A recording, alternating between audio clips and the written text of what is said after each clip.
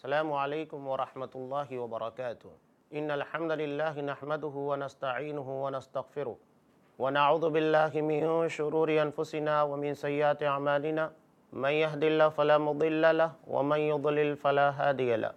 وأشهد أن لا إله إلا الله وحده لا شريك له. وأشهد أن محمدا عبده ورسوله. أما بعد فإن خير الحديث كتاب الله. وخير الهدي هدي محمد صلى الله عليه وسلم. وشر الأمور محدثاتها وكل محدثة بدعة. وكل بدعة ضلالة وكل ضلالة في النار. أعوذ بالله السميع العليم من الشيطان الرجيم. بسم الله الرحمن الرحيم. يا أيها الذين آمنوا اتقوا الله حق تقاته ولا تموتن إلا وأنتم مسلمون. يا أيها الناس اتقوا ربكم الذي خلقكم من نفس واحدة وخلق منها زوجها وبث منهما رجالا كثيرا ونساء. واتقوا الله الذي تساءلون به والأرحام. إن الله كان عليكم رقيبا. يا أيها الذين آمنوا اتقوا الله وقولوا قولا سديدا. يصلح لكم أعمالكم ويغفر لكم ذنوبكم. ومن يطع الله ورسوله فقد فاز فوزا عظيما۔ تمام قسم کی تعریفات اللہ رب العالمین وحدہ لا شریک کے لیے لائق و زیبا ہیں، جو ساری کائنات کا تنہا خالق و مالک ہے۔ اور بے شمار درود و سلام ہوں اللہ کے آخری نبی جناب کریم محمد الرسول اللہ صلی اللہ علیہ وسلم کی ذات مقدسہ پر۔ ہم جس موضوع کے پر اپنی گفتگو کو جاری رکھے ہوئے تھے وہ مومن کی صفات سے متعلق تھی۔ جسے اللہ رب العالمین نے سورہ مومنون کی ابتدائی آیات کے اندر بیان کی۔ اللہ رب العالمین ایک مومن کی صفات کو بیان کرتے ہوئے ارشاد فرماتا ہے۔ بسم اللہ الرحمن الرحیم۔ قد افلح المؤمنون الذين هم في صلاتهم خاشعون۔ والذين هم عن اللغو معرضون والذين هم للزكاة فاعلون والذين هم لفروجهم حافظون إلا على أزواجهم أو ما ملكت أيمانهم فإنهم غير ملومين. فمن ابتغى وراء ذلك فأولئك هم العادون. والذين هم لأماناتهم وعهدهم راعون. والذين هم على صلواتهم يحافظون. أولئك هم البارثون الذين يرثون الفردوس هم فيها خالدون. یقیناً مومن کامیاب ہو گئے جو اپنی نمازوں میں خشوع کا اہتمام کرتے ہیں اور بیکار قسموں کی باتوں سے لغو سے اجتناب کرتے ہیں، بچتے ہیں اور جو زکوٰۃ کے ادا کرنے والے ہیں، جو اپنی شرمگاہوں کے محافظ ہیں۔ سوائے اپنی بیویوں اور لونڈیوں کے۔ اگر کسی نے اس کے علاوہ سے اپنی خواہشات نفس کی تکمیل کرنا چاہی، تو یہ لوگ سرکش ہیں۔ یہ حد سے تجاوز کرنے والے ہیں، جو اپنی امانتوں اور عہد و پیمان کے محافظ ہوتے ہیں، پاسدار ہوتے ہیں، اور جو اپنی نمازوں کے محافظ ہوتے ہیں۔ اولئک هم البارثون یہ وارث بننے والے ہیں۔ کس جگہ کے وارث بننے والے ہیں؟ یرثون الفردوس۔ فردوس کے، جو کہ جنت کا سب سے اعلیٰ ترین مقام ہے ہم فیا خالدون اور یہ وہاں ہمیشہ رہیں گے۔ یہ آیات مکہ کی زندگی کے اندر نازل ہوئی جیسا کہ مفسرین نے اس کی تفسیر کے اندر نقل کیا ہے۔ اور کب نازل بھی تھی؟ جب مسلمانوں کے حالات انتہائی ناگفتہ بھی تھے۔ مسلمانوں کی مالی حالت بڑی خراب تھی۔ اور جو اصحاب کرام مسلمان ہوئے تھے، اللہ نے جن کو مال عطا کیا تھا، ان کا مال بھی اسلام کی راہ میں لگ چکا تھا۔ ایسے وقت میں قرآن مجید اہل ایمان کو یہ بشارت دیتا ہے کہ اگر ان صفات سے تم نے اپنے آپ کو مزین کر لیا تو یقیناً تم کامیاب ہو گئے۔ جبکہ دنیاوی اعتبار سے مال و دولت اور عزت و رتبہ ساری چیزیں ان کے پاس نہیں تھی لیکن جو سب سے بڑی دولت اللہ کی نگاہ میں جس کی قدر و قیمت ہے، ایمان وہ ان کے پاس تھا اور کامیابی اسی ایمان کی بنیاد کے پر ملتی ہے۔ ان کے بالمقابل مشکین مکہ، ان کے پاس مال و دولت ہے کعبۃ اللہ کے متولی ٹرسٹی ہونے کی بنیاد کے پر عزت کی نگاہوں سے دیکھا جاتا تھا۔ دنیاوی اعتبار سے ایک آدمی کے بہتر زندگی کے لیے جتنی چیزیں ہونی چاہیے تھیں، وہ ساری چیزیں مشکین مکہ کے پاس تھیں۔ لیکن اس کے باوجود قرآن مجید یہ کہتا ہے، قد افلح المؤمنون، مومن ہی کامیاب ہوں گے۔ یہ یقینی ہے، یہ طے ہے۔ فلاح کے اندر چیرنا پایا جاتا ہے۔ اسی لیے عربی زبان میں فلاح کسان کو کہتے ہیں، جو زمین کے سینے کو چیرتا ہے، بیج داخل کرتا ہے، محنت کرتا ہے، اس کے بعد سمر آور ہوتا ہے۔ پھل کو حاصل کرتا ہے، فصل کو حاصل کرتا ہے۔ محنت، اور یہی چیز اہل ایمان کے راستوں میں مختلف قسموں کی مشکلات کی شکلوں میں آتی ہیں۔ اگر ایمان مضبوط اور قوی ہے تو دنیا کی یہ ساری مصیبتیں اس کے راستے میں ہیچ اور بے معنی ہو جاتی ہیں۔ شاعر بڑی پیاری بات کہتا ہے، ترقیوں کے دور میں اسی کا زور چل گیا۔ ترقیوں کے دور میں اسی کا زور چل گیا۔ بنا کے اپنا راستہ جو بھیڑ سے نکل گیا۔ سامنے بھیڑ کھڑی ہے آزمائشوں، مبتلا اور مصیبتوں کی۔ جگہ جگہ کے پر امتحان ہے اگر ان ساری بھیڑوں کو چیرا نہیں گیا، تو ہم کامیابی تک اور اپنی منزل مقصود تک نہیں پہنچ سکتے۔ اسی کو فلاح سے تعبیر کیا گیا، چیرنا۔ یعنی جو مشکلات، جو پریشانیاں، جو آزمائشیں آ رہی ہیں، انہیں چیرتے ہوئے اپنی منزل یعنی جنت تک پہنچنے کی کوشش کی جائے۔ جو اپنی نمازوں میں خشوع کا یعنی اس طریقے سے نماز ادا کرتے ہیں کہ مکمل طریقے سے ان کا دھیان، ان کی توجہ اللہ رب العالمین کی ذات کی طرف ہوتی ہے۔ وَالَّذِينَ هُمْ عَنِ اللَّغْوِ مُعْرِضُونَ۔ اور جو بیکار قسم کی لغو قسم کی باتوں سے احتراز کرتے ہیں۔ اس کی تفسیر میں ایک حدیث میں آپ کے سامنے نقل کر دوں، جو سب سے بہترین طریقے سے اس کی تفسیر کو بیان کرتی ہے۔ حضرت امام ترمیزی رحمۃ اللہ علیہ نے کتاب الزہد میں حضرت ابو حریرہ رضی اللہ تعالیٰ عنہ سے روایت کیا ہے۔ آپ صلی اللہ علیہ وسلم نے اشارت فرمایا، ایک مومن کا سب سے بہتر اسلام یہ ہے، ترکوہ ما لا یعنی وہ ساری چیزیں ترک کر دے جو بے معنی فضول ہے، جس کا کوئی مقصد نہیں ہے، جو اسے فائدہ پہنچانے والی نہ ہو۔ اسی کو قرآن مجید نے لغو سے تعبیر کیا۔ ایک لفظ لغو، اس میں دنیا کی ساری برائیاں بے مقصد کام، فضول قسم کی باتیں، فضول قسموں کے کام سب کو سمیٹ دیا گیا۔ آج کتنے افسوس کی بات ہے کہ مسلمان اور خاص طور سے نوجوان طبقہ اپنے وقت کو پاس کرنے کی کوشش کرتا ہے، جس کو ہم ٹائم پاس کہتے ہیں۔ وقت تو بیت نہیں رہا ہے، تو کیا کر رہے ہیں؟ کوئی گیم میں فضول قسم کے لگا ہوا ہے؟ کوئی فضول قسم کی بکواس میں لگا ہوا ہے؟ وہ اپنا وقت بتانا چاہتا ہے ٹائم پاس کرنا چاہتا ہے۔ اللہ نے جو زندگی ہم کو عطا کی ہے، یہ بڑی قیمتی ہے۔ ایک لمحہ اگر زندگی کا بیت جائے، اس کو واپس نہیں لایا جا سکتا۔ زندگی کے ایک ایک پل کا حساب لیا جائے گا۔ شاعر جس کے بارے میں کہتا ہے، چادر کا دینے والا تجھ سے حساب لے گا۔ چادر تو پھٹ چکی ہے، تو کیا حساب دے گا؟ اللہ نے زندگی ہمیں عطا کی، اس کے بارے میں سوال ہوگا۔ ہم اسے ٹائم پاس کی شکل میں بتا رہے سوچئے کہ ہمیں پتہ نہیں ہے کہ ہماری زندگی کتنی ہے، کتنے وقت ہمارے باقی رہ چکے ہیں، کتنی سانسیں ہم اور لے سکتے ہیں۔ اور ہم اسے بے معنی فضول قسموں کے چیزوں کے اندر، وقت کے بتانے کے لیے ٹائم پاس کرنے کے لیے ختم کر رہے کتنے افسوس کی بات ہے کہ ہم نے اپنے مقصد زندگی، مقصد حیات کو نہیں سمجھا۔ تو اس طرح کی وہ ساری چیزیں جو ٹائم پاس ہمارے وقتوں کو فضول قسم کے کاموں میں لگاتی ہے، اس سے بچنا ضروری ہے۔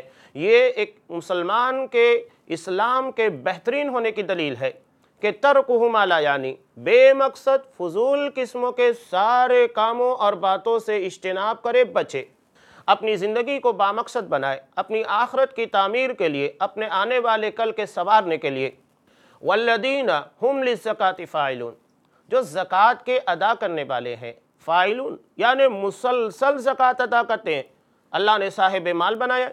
اس کا مطلب یہ نہیں کہ ایک سال ادا کیا اور دوسرے سال چھوڑ دیا، یا زکوٰۃ میں کچھ دیا، کچھ نہیں دیا، بلکہ زکوٰۃ مکمل طریقے سے ہر سال اللہ نے ان کو صاحب حیثیت بنایا ہے، نکالتے رہتے ہیں۔ کبھی اس بارے میں پیچھے نہیں ہٹتے۔ والذین هم لفروجہم حافظون۔ جو اپنے شرمگاہوں کے محافظ ہیں اپنی شرمگاہوں کی حفاظت کرتے ہیں۔ الا علی ازواجہم او ما ملکت ایمانہم فانہم غیر ملومین سوائے اپنی بیویوں اور لونڈیوں کے، وہاں ان کو ملامت نہیں کی جائے گی۔ عورتوں کے بارے میں تو ہم کو پتا ہے۔ لونڈیوں کا مسئلہ فی الحال تو ہمیں کہیں نظر نہیں آتا۔ اس لیے کہ اسلام نے غلام اور لونڈی یعنی ایک انسان کو غلام بنا کر رکھنا، چاہے وہ مرد ہو وہ عورت۔ اس کے خاتمے کی مکمل کوشش کی۔ اس لیے آپ دیکھیے، کفارے کی جتنی شکلیں ہیں، اس میں پہلے نمبر کے اوپر، اول نمبر کے اوپر ایک غلام کو آزاد کرنے کے بارے میں اہمیت دی جاتی ہے۔ اس کے بعد اگر یہ نہ ملے، کسی اور چیز کو اہمیت دی گئی۔ بیویوں کا، اور لونڈیوں کا مسئلہ۔ لونڈیاں فی الحال موجود نہیں ہے۔ اسلام نے کوشش کر کے انسان کی غلامی کا خاتمہ کر دیا۔ اب اس کے علاوہ جتنے بھی طریقے ہیں، اس کے بارے میں قرآن مجید نے وعدے کہہ دیا، فَمَنِ ابْتَغَى وَرَاءَ ذَلِكَ۔ جو بھی ان کے علاوہ طریقوں کو اختیار کرتا ہے، اس کی تلاش میں رہتا ہے۔ تو یہ سرکش ہے، یہ باغی ہے، حد سے تجاوز کرنے والا ہے۔ چاہے وہ زنا ہو لباتت یعنی مرد مرد کے ذریعے اپنی خواہش نفس کی تکمیل کرے۔ یا عورت عورت کے ذریعے یا کوئی اور بھی ذریعہ اپنے ہاتھوں سے جس کو مشتزنی کہا جاتا ہے، یا نکاح متع یعنی کانٹریکٹ میرج ایک دن، دو دن، ہفتہ، مہینہ، ایک مدت طے کر کے نکاح کیا جائے، اس کے بعد دونوں علیحدہ ہو جائیں۔ اس کی بھی اسلام کے اندر اجازت نہیں ہے، اس کو منع کر دیا گیا ہے۔ یا وہ نکاح حلالہ ہو ایک رات کا نکاح جو کیا جاتا ہے، جس کے بارے میں نبی کریم صلی اللہ علیہ وسلم نے اشارت فرمایا، جیسا کہ ترمیسی کی روایت میں ہے، لعن اللہ المحلل والمحلل. کہ اللہ کی لانت ہو، حلالہ کرنے والے، حلالہ کروانے والے دونوں کے پر اللہ کی لانت ہے۔ تو یہ نکاح کے جتنے طریقے ہیں، یہ سارے طریقوں کو قرآن مجید نے، شریعت اسلامیہ نے ختم کر دیا، مٹا دیا ہے۔ صرف ایک طریقہ باقی رکھا ہے جو عام طور سے ہم دیکھ رہے ہیں۔ خواہش نس کی تکمیل کے سارے ذرائع شریعت اسلامیہ کی نگاہ میں مقبوض ہے ملعون ہے اور ایسا کرنے والا شریعت کی نگاہ میں، قرآن کی نگاہ میں باغی ہوتا ہے، حد سے تجاوز کرنے والا کہلاتا ہے۔ حضرت امام بخاری رحمۃ اللہ علیہ نے حضرت عائشہ صدیقہ رضی اللہ تعالیٰ عنہ سے ایک روایت کو نقل کیا۔ یہ کہتی ہیں کہ اسلام کے آنے سے پہلے چار طریقے کے نکاح لوگ کیا کرتے تھے؟ چار طریقے سے ان لوگوں میں نکاح کرنے کا رواج تھا۔ پہلا طریقہ تو وہی ہے جسے اسلام نے باقی رکھا یعنی لڑکی والے یا لڑکے والے آپس میں ایک دوسرے کے درمیان پیغام بھیج کر، لڑکی اور لڑکا ایک دوسرے کو دیکھ کر پسند کر کے نکاح کر لیں۔ یہ شادی کا طریقہ تھا جسے اسلام نے باقی رکھا۔ دوسرا طریقہ تھا جس کو استبضاع کہتے ہیں، عجیب و غریب طریقہ۔ یہ بھی دراصل زناکاری کی ایک بدترین شکل ہے جو برضا و رغبت کی جاتی ہے۔ استبضاع کس کو کہتے ہیں؟ ایک آدمی اپنی عورت کو مہواری سے پاک ہونے کے بعد، سماج اور سوسائٹی کے کسی معزز، یا جس کو ہم یہ کہنا چاہیے کہ ہینڈسم، ایسے شخص کے بعد بھیجتا کہ جاؤ، اس کے پاس زناکاری کرو۔ اور جب اسے یقین ہو جاتا کہ اس کی بیوی کو حمل ٹھہر چکا ہے، تو وہ چاہتا تو اپنی بیوی سے کانٹیکٹ کرتا، نہیں تو نہیں۔ یہ اس طریقے کو، وہ لوگ اولاد کو بہترین طریقے سے اچھی شکل میں حاصل کرنے کے لیے کیا کرتے تھے۔ یہ جو طریقہ اپنایا گیا تھا، اولاد خوبصورت ہو، بہترین ہو، اعلیٰ نسل کی ہو، اس کے لیے طریقے اپنائے جاتے تھے۔ جانوروں کی طرح حرکت تھی۔ جس طرح کے آدمی بہترین نسل کے جانور، عمدہ نسل کے جانور کو حاصل کرنے کے لیے یہ طریقہ اپناتا ہے، انسانوں نے بھی اس بدترین شکل کو اپنے اندر جاری رکھا تھا۔ اسلام نے اسے کل عدم قرار دیا، اس کے پر پابندی لگا دی۔ تیسرا طریقہ، دس لوگوں سے کم کی جماعت۔ پوری ایک جماعت ہوتی تھی، ایک گروہ ہوتا تھا۔ یہ ایک ہی عورت سے تعلق قائم کرتا۔ اور جب اس کو بچہ ہوتا تو یہ عورت کے اختیار کی بات ہوتی کہ ان دس سے کم افراد کو جو بھی ہوں، نو ہو آٹھ ہو سات ہو جتنے بھی ہوں، ان سارے لوگوں کو بلاتی۔ اور بلانے کے بعد جس آدمی کی طرف بھی اس بچے کو منسوب کرتی، وہ اس کا باپ کہلاتا۔ یعنی وہ عورت ڈیسائیڈ کرتی تھی، فیصلہ کرتی تھی کہ بچہ کس کا ہے۔ اس کو بھی شریعت اسلامیہ نے بین کر دیا، ختم کر دیا، اس کے پر پابندی لگا دی۔ اور چوتھی شکل تھی جسے ہم کہتے ہیں ایسی عورتیں جو کہ طوائف ہوتی ہیں۔ یہ اپنے پاس آنے والے کسی مردوں کو منع نہیں کرتی تھیں۔ اپنے گھروں کے پر جھنڈیاں لگاتی تھیں۔ جس سے معلوم ہوتا تھا کہ یہ ایسی عورتیں ہیں جو کسی بھی مرد کو اپنے پاس آنے سے نہیں روکتی۔ جب اس کے ہاں بچے کی ولادت ہوتی، تو ایک قیافہ شناس کو بلایا جاتا اور اس بچے کو دیکھنے کے بعد وہ طے کرتا کہ اس کا باپ کون ہے۔ اور اس کے حوالے کر دیا جاتا، بچہ اس کا مانا جاتا تھا۔ یہ اولاد کے حاصل کرنے کا طریقہ تھا، یا جس کو کہیے نکاح کا طریقہ تھا، مرد اور عورت کے تعلق کے قائم کرنے کا۔ شریعت اسلامیہ نے ان سارے غلط طریقوں سے جس کے پر عورت ذات کے پر ظلم ہوتا ہے، اولاد کے پر ظلم ہوتا ہے، اس کو پتہ نہیں ہے کہ حقیقت میں اس کا باپ کون ہے، کسی کو بنا دیا جاتا ہے۔ یہ ساری چیزوں کے پر پابندی لگا کے جائز اور صحیح طریقہ۔ جس میں عورت کا تحفظ ہو، نسل کی حفاظت ہو، شریعت نے اس طریقے کو باقی رکھا۔ نکاح یا خواہش نفس کے بارے میں تین طریقے عام طور سے پائے جاتے ہیں۔ ایک طریقہ ہے کہ کلیتاً یعنی مکمل طور پر اپنی نفس کی خواہش کو دبا دیا جائے، اس کو استعمال ہی نہ کیا جائے۔ اور دوسرا طریقہ، اس کے اسے بالکل آزاد کر دیا جائے۔ کوئی پابندی نہیں، آدمی جہاں چاہے وہاں منہ مارے، جہاں چاہے وہاں جا کے اپنی خواہش کو پورا کرے۔ اور تیسرا طریقہ جو کہ اس کے درمیان کا ہے یعنی اپنی خواہش نفس کی تکمیل کو بالکل آزاد بھی نہ چھوڑا جائے، یا اسے مکمل طریقے سے پابند بھی نہ بنا دیا جائے کہ کسی عورت سے تعلق قائم ہی نہیں کرنا ہے، بلکہ اس کے درمیان کا راستہ ہے نکاح۔ جس کو شریعت اسلامیہ نے ہمارے لیے جائز قرار دیا ہے۔ اللہ نے جب مرد اور عورت ایک دوسرے کے لیے بنایا ہے اور ایک دوسرے کے ساتھ رہنے پر ان لوگوں کی زندگی میں سکون آتا ہے، تو یہ کیسے ہو سکتا ہے کہ آدمی عورتوں سے علیحدگی اختیار کرے؟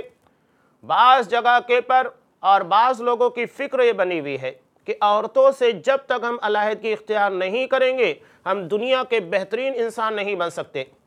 دنیا کے سب سے بہترین انسان، سید الرسل، سید الانبیاء، سارے رسولوں اور نبیوں کے سردار محمد الرسول اللہ صلی اللہ علیہ وسلم آپ نے نکاح کیا۔